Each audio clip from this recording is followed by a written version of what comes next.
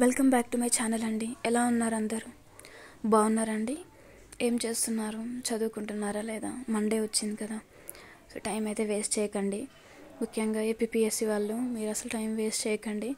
అలాగే మన ఛానల్లో యూపీఎస్సీకి ప్రిపేర్ అవుతున్న వాళ్ళు కానీ గ్రూప్ వన్ ఎగ్జామ్కి ప్రిపేర్ అవుతున్న వాళ్ళు కానివ్వండి టైం అయితే వేస్ట్ చేయకండి. And at the same time హెల్త్ని కూడా జాగ్రత్తగా కాపాడుకోండి. అయితే ఇంకా ఈరోజు మార్నింగ్ మా హస్బెండ్ ఆఫీస్కి వెళ్ళారండి. మా చిన్న పాపని స్కూల్కి పంపించాను.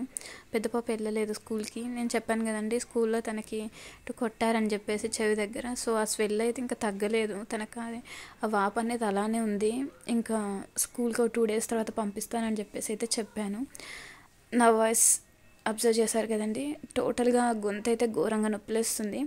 అసలు ఏంటో ఈ మధ్య అసలు హెల్త్ అస్సలు బాగుండట్లేదు. అందుకే చెప్తున్నాను my dear sisters and brothers please take care of your health మనకి ఏదైనా సరే హెల్త్ తర్వాతనేనండి. ఎగ్జామ్స్ అయినా కానివ్వండి హెల్త్ తర్వాతనే. ఇన్ కేస్ రేపు ఎల్లుండే ఎగ్జామ్ పెట్టుకొని ఈరోజు కానీ మన హెల్త్ బాగాలేదంటే నేనేం చెప్తానంటే హెల్త్ కంటే మించింది ఏం లేదు. ఈసారి కాకపోతే నెక్స్ట్ సారి అయినా రాసుకోవచ్చు. ఎగ్జామ్ రాయకుండానే చెప్తాను. హెల్త్ బాగుంటేనే ఏదైనా. నిజంగా ఈరోజు అస్సలు నాకు బాగాలేదు అయినా కూడా మనమే చేసుకోవాలి అన్ని పనులు. సో ఇలాంటప్పుడు ఇది ఒక్కటే ఎగ్జాంపుల్ నేను మీతో షేర్ చేయగలను. మనకు బాగున్నా బాగాలేకపోయినా మన ఫ్యామిలీ మన చేతిలో ఉంటుంది. మనమే చూసుకోవాలి. ఇంత ఘనం రావడానికి కారణం ఏంటో కూడా నేను చెప్తానండి. అంటే థ్రోట్ ఇన్ఫెక్షన్ వచ్చిందనమాట. ఎలా వచ్చిందంటే అది నెక్స్ట్ జూ పార్క్కి వెళ్ళామండి మొన్న సాటర్డే రోజు. నార్మల్గా పిల్లలు ఇంట్లో టిఫిన్ చేయట్లేరు అని చెప్పేసి ఎంత ఇడ్లీ పెట్టాను తినట్లేరు.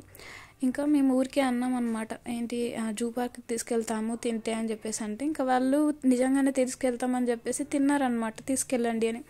అప్పటికప్పుడు ఇంకా అప్పుడు అప్పటికప్పుడు స్నానాలు చేసుకొని ఇంకా వెళ్ళిపోయాము అనమాట అసలు ఏమి ప్లానింగ్ లేకుండా వెళ్ళిపోయాము.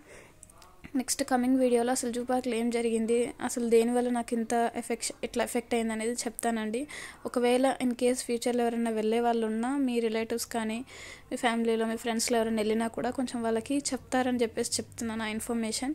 అండ్ ఏం అసలు మీకు హెల్త్ బాగాలేదు ఈరోజు వీడియోలో చెప్పాల్సిన అవసరం ఏంటి అంటే చెప్తానండి. నేను చెప్తాను ప్రతిరోజు నేను చెప్తూనే ఉంటాను కదండి. నాకు ఎలాంటి సిచ్యువేషన్ వచ్చినా కరెంట్ అఫైర్స్ని అయితే నేను అసలు వదిలిపెట్టలేనండి. కరెంట్ అఫైర్స్ నేను సాటర్డే సండే టూ డేస్ది కరెంట్ అఫైర్స్ అయితే నేను ఈరోజు రాసుకున్నాను. అది నేను చదువుతున్నాను అనమాట అండ్ మండే ఎప్పుడు వచ్చినా మీ అందరికి తెలుసు కదా వన్ వీక్ది అంటే లాస్ట్ వన్ వీక్ది అంతా కూడా ఒకసారి చదువుతాను అనమాట సో ఈరోజు అయితే చదువుతున్నాను. ఇంకా నేను ఇంకేం చదవలేను ఈరోజు అసలు వాయిస్ ఓవర్ ఇవ్వడానికి కూడా రాలేదనమాట చూస్తున్నారు కదా ఇప్పుడు నా వాయిస్ ఎంత ఘోరంగా చేంజ్ అయిపోయిందో. కొంతమందికి వాటర్ కొంచెం తేడా వచ్చినా కూడా చాలా తొందరగా రియాక్ట్ అవుతారు. వాళ్ళ బాడీకి పడదనమాట సో నేనైతే ఏమేమి కరెంట్ అఫైర్స్ రాసుకున్నాను అని చెప్పేసి నేను చూపిస్తున్నాను. అండ్ వీడియోలో నేను ఒకటే చెప్పదలుచుకున్నానండి. నేను సాటర్డే నైట్ ఏమో ఒకటి చూసానండి టెలిగ్రామ్ గ్రూప్స్లోనే చూసాను గ్రూప్ ఫోర్లో మార్క్స్ తక్కువ వచ్చాయని చెప్పేసి ఒక లేడీ చనిపోయారని చెప్పేసి అండ్ తను కూడా మా మహబూబాబాద్ జిల్లాకు చెందిన ఆమె అని చెప్పేసి తెలిసిన తర్వాత నిజంగా ఏడుపు వచ్చింది లిటరల్లీ. ఎందుకండి మనకు చదువు అనేది కేవలం మన జీవితంలో ఒక చిన్న పార్ట్ అండి. మనకున్న ఇప్పుడు ప్రజెంట్ ఒక అరవై డెబ్బై ఏళ్ళు బతుకుతున్నారు అందరూ వాళ్ళ జీవితకాలం లైఫ్ టైం. ఇందులో కనీసం ఇరవై ఇరవై ఐదు ఏళ్ళు కూడా మనం బతకలేనప్పుడు ఎందుకండి అసలు?